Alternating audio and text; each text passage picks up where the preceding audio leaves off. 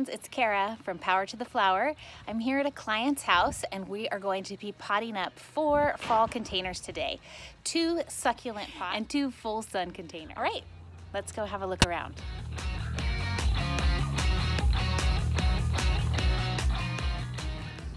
All right, you can see their front porch here is looking so cute with her fall pumpkins and her wreath. And then she has this container, which she bought, um, she said maybe a year and a half ago.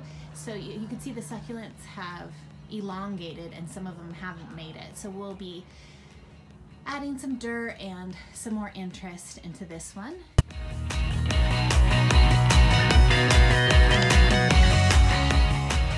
Probably four or five inches of dirt of, of pot showing. The dirt's gone down about four to five inches. And all these beautiful succulents have gone a bit leggy. So we're gonna be cutting them back. That's the great thing about succulents is you can just literally cut them off and stick them back in the dirt. They come keep on going. So we're gonna be cutting these back and then also adding some more. To be honest, the majority of these came, I have a peaky friend over there, came from Home Depot and they were such a great deal. All of these um, six packs. So I'm really excited to use them. All right, so let's get started. First thing I'm going to do is try and remove the succulents that we have here.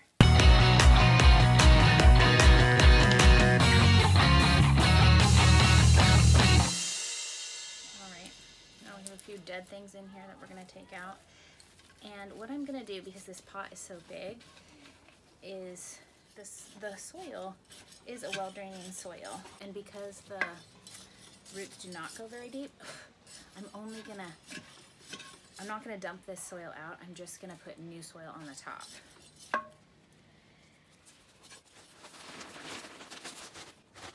All right. So what we wanna do is kind of have like a bit of a mound because the succulents are gonna work their way up. So I'm gonna actually start with the edge and then work backwards. So the first thing that we want therefore is um, the spiller. So I have this awesome spiller, which I just love. Actually going to cut it in half and use it on two sides of the pot. So let's see that happen. All right. So what we're gonna actually do is lay it on its side. Actually, I'm gonna go this way. And tuck it right in there. I'm actually gonna divide this one up again.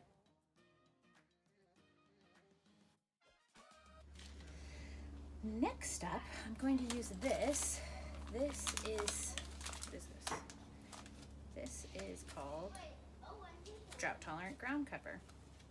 I have a lot of it at my house and I love it because it's a pretty fast grower. It adds some foliage texture and some colors like the, like the blue and the lime green that are perfect.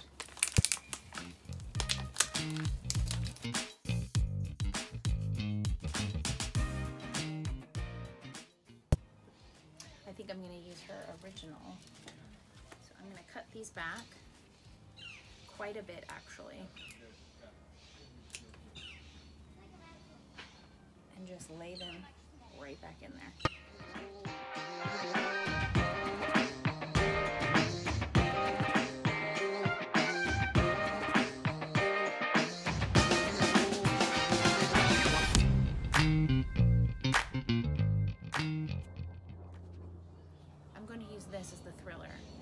Our spiller here and here and here and this will be the thriller and we will have all of the rest as filler. So I'm gonna just, that dirt I just moved in, move it to the side a little bit. Whoop.